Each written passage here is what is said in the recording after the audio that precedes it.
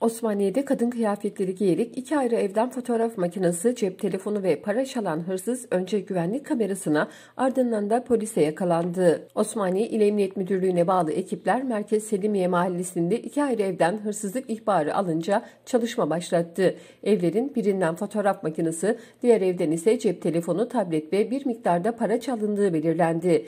Çevredeki ev ve iş yerlerinin güvenlik kamerasını inceleyen polis ekipleri, kadın kıyafetleri ve etek giymiş bir erkek şahsın hırsızlık yapılan evin penceresinden üst katına tırmandığını tespit etti.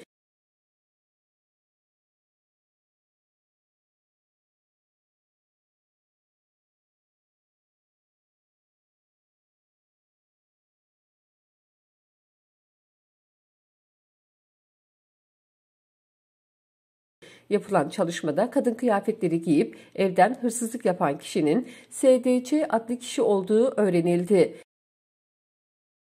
Çok sayıda hırsızlık olayı ile cinsel istismar suçundan kaydı olduğu anlaşılan 19 yaşındaki SDC polis tarafından yakalanarak gözaltına alındı. SDC emniyetteki işlemlerinin ardından çıkarıldığı mahkemece tutuklanarak cezaevine gönderildi.